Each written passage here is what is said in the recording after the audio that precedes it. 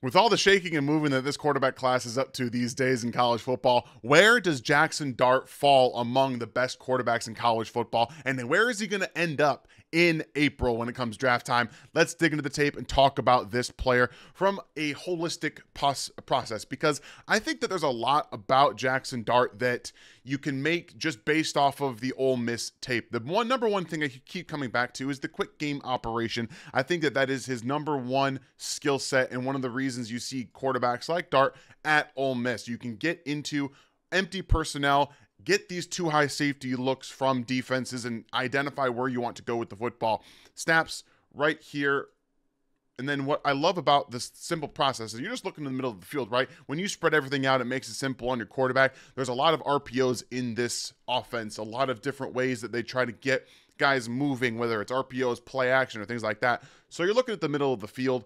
Everyone essentially, again, you got that cover two shell, but the one thing you're going to notice is that inside leverage defender here, just a little spot and work to the outside. Dart identifies it quick. You maybe get the ball out a tad quicker to get the receiver another opportunity in space. But at the end of the day, all it comes down to is identifying that quick place you want to go to with the choice route, and then you're able to take advantage of it. You see it time and time again for Jaxson Dart, where he's operating the quick game, whether it is that RPO based, where he's hitting guys over the middle of the field, out routes or choice routes in those outside leverage situations. So reading it, identifying it, and then maybe just speeding up the process a tad quicker, you're going to see those be really they, they've been huge problems in the NFL for teams that aren't you know Patrick Mahomes where teams just sit on those outward breaking routes and those RPO looks. So teams that operate it more will have more success with a guy like Jaxson Dart. And I think he's an underrated athlete. You know, at 6'2, 225 pounds. Honestly, I didn't know this about his game. I watched him a few times and I didn't really know that his legs were as good as they are. They kind of remind me of next level when you're looking at Bo Nix uh, with the uh, Denver Broncos. People didn't really expect his legs to be utilized to the level that he's using them. But I think this is one of those points where the play breaks down. It looks like it's supposed to be more of an RPO based look. You got him reading that left hand side right there, and then he like pulls the ball and then he looks to throw it out the there and there's nothing happening. You got blitz coming off, so he just goes with it. Maybe it's made to look that way, maybe it's not. Maybe it's supposed to be a quarterback lead. I don't know, but it looks more like the play breaks down. He just makes a play with his legs and that instinctualness right there to take off as number zero is coming in right up the middle uh, right here. You see right there, he's coming flashing across. You've got outward number four right here. So he's just going to take off and he's going to follow his blockers right here. And I love that that instinctual takeoff ability because I do think there's multiple times throughout his process where he will just take off either with his legs or as a design like it is right here. And this is a part of his game that I didn't know either, where he's just going to put his shoulder down, level a defender, and then make that touchdown happen out of nothing, really, because he should have been tackled right there. So quarterback draw, he looks one way, he goes forward with those blockers coming out, and then leans his shoulder. And that, that instinctualness when the defender is coming in as he's in space making a play, then to just knock him out with that shoulder, that's something that I would like to see more from Jaxson Dart. Now, obviously, leading with the off shoulder like he did right there is much better than leading with your core your throwing shoulder. So just getting better understanding you when you can make a play when you don't have to. That is one of those things that i like from him when he knows he's got to go make a play and he can take a hit and, and be physical and tough like that. Good leader good tough player and he operates the quick game very well. And then we're going to get into more of the problems that I have with Jaxson Dart, but also showcasing some of the things that he does well. This is a two for one on Jaxson Dart. You see the outside receiver right here, Antwane Wells. He's going to have just go down the middle of the field, all right? And that's where he's looking first, right? So Jaxson Dart's going to take a peek in this direction first, and then he's just going to look away. This safety is coming out and down right now. He's still got eyes on the receiver on well. So this is what you want to read. You want to read that leverage of the defender. He's coming down and really more outward this way. He's not backing out. Really, what this should be that he should be throwing this football right now. Step up into that pocket if you need to, and then just take that shot downfield. Instead, he turns it down right now. And then he feels a lot of pressure. Again, he still has time to step up and make this play. The running back picks up that blitzer off the off the right hand side. He can step up into the pocket right here and then throw to the open streaking Antwane Wells Jr. He doesn't.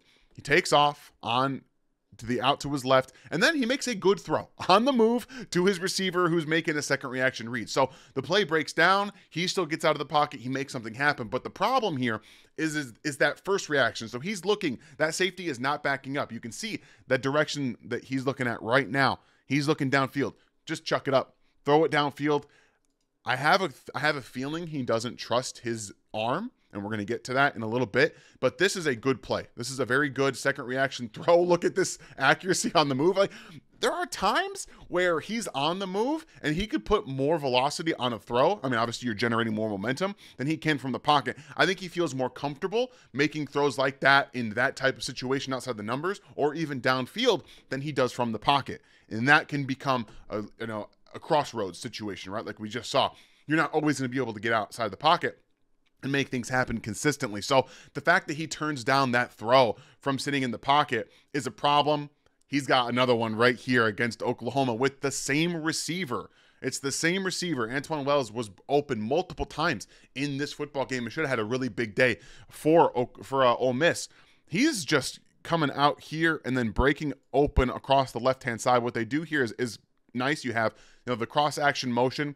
Then you have a big boy in the backfield, and he's just going to be pass protecting, coming up, pass protect, and then they have a little quick slant right here across that field. But look what happens to the defense. They all fall apart right there with that play action. Taking the shot down the middle of the field. Look at everybody is coming up right here. You're up, you're up, you're up. He's following down here. And then you have Antwane Wells just streaking open this way, this direction. So this is what I would love to see from him. He is going to look at Wells. He also has a knack to pat the football every single time. And then the pressure feel is number two. You have to be able to step up while you're operating through your reads, right? You have to be able to feel that pressure. So there's the play action fake. He's looking there, boom. Right now, at this very moment, he sees his receiver. He sees him. He sees him wide open. Throw the ball. He freezes right there. You see the pat? He freezes and he has the pat. That ball needs to be out quicker. It needs to be out faster. It really needs to get through the flat read just a hair faster as well. So a guy who's a senior operating needs to operate a little bit quicker and take some chances down the field when they are wide open. So we'll go back to the beginning of it and you're going to see again, there's that wide open player for a touchdown. He just turns it down. That's twice now he's turned down big plays down the field to wide open receivers. And then the first the first time he made the play with his legs. Second time, pressure gets there, right? He's not stepping up into the pocket. He's standing right there. That pressure feel does not seem to be there all the time as well. So a couple of different things. You see the arm talent getting out of the pocket. It's much better. He's, he does have a good arm on the move. I wonder if he doesn't trust it downfield from the pocket where he can't generate more velocity. And then we talked a little bit, just in that previous clip, about how he feels pressure. Now you have to understand where the pressure is coming from. I don't think he ever saw it, much like he never saw the rusher coming off the his his left hand side. This is a little bit different. So LSU is going to bring a, a pressure from the slot, and they have stacked it with a DB in the slot already on top. They're going to blitz and play man coverage behind it. Very simple man coverage here, man coverage here. You've got man here, you got man, and then you have that deep safety right here. So he needs to be able to process also yeah you got the linebacker excuse me on the running back. So let's just pure man coverage across the board and a free rusher not necessarily free but off the edge where the running back is coming up and making a play all right? Fine no problem here. Everyone's got man coverage. Now knowing your route com- concepts and route combinations if you have a, a pressure blitz coming off where's your hot route? Where's the guy open over the middle of the field if they're playing man coverage? I need to know where that is to be able to get the football out. Instead he takes a sack so we see here you've got the inward in breaking route from the slot with cushion. This needs to be the throw right here. You got this coming right open over the middle of the field. He does create separation. I know the referee is there. Ball still has to come out. Doesn't really matter. They will move out of the way. So he needs to be able to process that a little bit quicker and feel the pressure. One, he's looking to the right first. He never even gets back to the left side. So he never saw the blitz coming. Just never saw it coming. They did a good job creeping to the last second. But as this is coming out, and then you know he fumbled on the play, whatever. We're not going to talk about the fumble because sometimes when you're not seeing the pressure, you're going to fumble the football. So right here, as the peripheral, right now, as the ball's being snapped, this is where you have to kind of feel, you know, feel that. That's what we that, that peripheral peripheral vision is for. At the snap, you have to be able to feel and see that pressure coming off. and know it's there. Right now, he's looking in the middle. You should still see that pressure coming, right? And now he looks to the hard to tell, but he turns his head this way, body language is that way. So he's coming out right there, and then he gets back to the middle. It needed to be middle first. So we've got a couple of things here with his his pocket presence, and then the unwillingness to really uncork it downfield at times with guys that are wide open, and those are going to come back to bite. And you just got to be able to progress through it, step up in the pocket, feel that pocket a little bit better, feel the pressure a little bit better, and uncork some throws. Obviously, not every quarterback is going to make those poor decisions or not feel the pressure on every single play, but it's more of a consistent problem. And his accuracy, specifically ball placement, goes down dramatically when he is pressured. Muddy pockets and, and having pressure in his face with four with a free rusher, those affect him more so than a lot of the other quarterbacks in this class. And then, like we just talked about with his arm strength, this should be a touchdown. This should be a touchdown. If not, it should be a much bigger play. He gets exactly what he's looking for, right? They want to pull outside pull, linebackers underneath. They were going to pull them this way a little bit, pull them this way. You have that running back out of the backfield, and then you have the safeties out here, right? Too high. They're going to stay too high, especially look at the way that they are managing it, right? You've got outward, outward. So you have exactly what you're looking for down the field. Eyes go right first, back to the middle boom, right there. They get the receiver breaking through that next level. This is where he wants to hit it. Lead him out there. Lead him down the field. This should be pretty much a much bigger play, and it's not because he the ball just kind of dies. He doesn't put enough air on it, and then it dies down there, and the receiver has to go make a play. So the arm strength. And honestly, I like what he do, does initially. He'll, going right first, seeing that safety pull out, and then he hits what he wants over the middle of the field just got to get a little bit more. I don't know if he really has the drive from the pocket and that arm talent, that arm strength to be able to hit plays like this. So you got to lead guys down the field a little bit more. So choosing what arm slot, what ability he's going to have to throw down the field with on a consistent modality, just got to be able to hit those different plays from all different areas. And this this this go ahead and stop harping on, on on Jaxson Dart, right? He's got some things he's got to work on. That's neither here nor there. Ole Miss's offense is very gimmicky. They, they do they do a lot of just scheming guys open and quick screens, things like that, trying to get the ball in the playmaker's hands. This is another one of those, but he sells this really well, going over the number 21. Then he comes back to the middle of the field and puts this into a window. That's more what I want to see over the middle of the field from Jaxson Dart. Really nice, you know, not necessarily an anticipation throw, but he's window throwing, right? Your, your window shopping, as they like to call it. He's going to hit this window and he comes back to the middle and then hits his tight end over the middle of the field. I love to see that. Anticipation is not his strong suit, as we have now ca- gone through on multiple different times where he sees or he's not really anticipating it as much as he needs to. This is a much better showcase of that where he knows it's supposed to be there, right? Number 28, Dan Stutsman right there. He's going out towards that right hand side of the offense right there. And so that window right behind him should be wide open. So nice job from Dar going right first, selling, and then throwing over the middle to his tight end for a touchdown kind of trusting the play is going to be there and also trusting his eyes and what he sees. This, we talked about the read option stuff as well. Like, this is a good operation of that. He's reading out first to the right and comes back and layers this over the middle of the field. I think that he's got a, a good understanding of how to layer throws, not just over the middle of the field, but he will layer throws down the field and, and outside the numbers as well. He, he's much better just with those touch passes. I think that he's not just a guy who's going to throw it in there as hard as he can every time. He does have different levels to his arm talent. So he, a good enough arm, good arm talent. Just question the top end of his ability to really drive throws from the pocket and trust his arm downfield from the pocket as well. So you have him him looking out to the right hand side first, like I mentioned. He's going to be looking while they read out the quote unquote play action pass with the running back coming up to the middle here eyes go right first. All right, nobody is going to be open there. That DB is coming down. I come back to the middle of the field. My tight end, because of the play action fake, quote unquote, is going to have these linebackers come up. I can just kind of float this to him and make a nice play and structure over the middle of the field.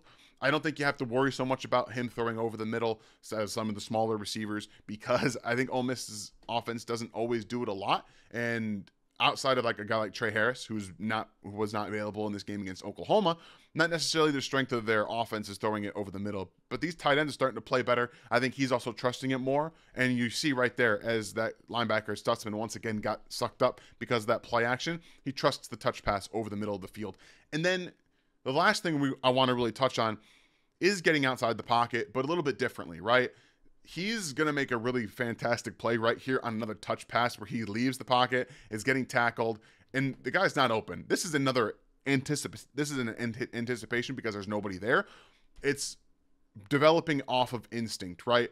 He does not check down to his running back who's hot on third down. It's a big play. I know you don't want to. He makes a play out of structure and he's able to really not die on this play. So you have your hot route, right? Oklahoma's going to blitz.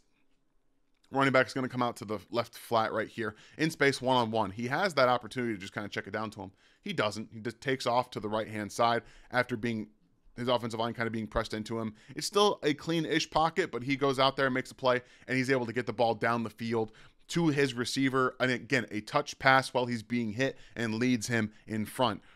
So I do think that the things that he does well, getting on getting on the move, operating the quick game, but also trusting his right there you see the it was more of a wobbler obviously, trusting his different levels of whether he's going to throw it in there or put more touch pass on it. I think that he has that to his game as well, so we can vary those different speeds with which he throws the football. Does add a different layer to his his game, but overall, there's a reason that we have not been talking very highly of Jaxson Dart. I don't think that Ole Miss does a great job of developing their quarterbacks because of their offense. It's so college heavy, and it's not always a ton of go through your reads, step up in the pocket, feel that pressure, and then make a throw, make a window throw. He doesn't really put the ball in harm's way. He's also not testing a lot of real windows as well in terms of those tight window throws. You see a lot of scheme guys getting open. So the main takeaways I have from Jaxson Dart after watching his performances this season is in big games, you know, when those windows get a bit tighter, he does wait. We, we saw it there. And when he waits a little bit too long, to throw the football into those windows that are open, especially wide open, it can be detrimental. Taking sacks, getting hit as he's thrown, or maybe fumbling, like we saw in that one play that, that he did get sacked and then he fumbled the football. So you have to trust your arm, see it, throw it. Sometimes you have to throw with more anticipation, and that's not really in his game right now. I think his best fit is a home like Miami, the Miami Dolphins, where those windows are, you have to play based on timing, you have to trust it, and then you have to be able to play within the structure of the offense. And I think he could do that very well. I think he's more of a day, back end of day two, day three type quarterback because even as a senior, he's still not doing a ton of those things you want in terms of anticipation and the arm strength down the field and really trusting himself to make those plays when they're there. So,